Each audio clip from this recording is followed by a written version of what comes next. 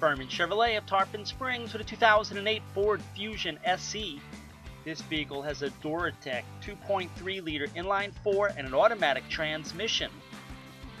Stop by to see this and many other pre owned vehicles at Ferman Chevrolet of Tarpon Springs.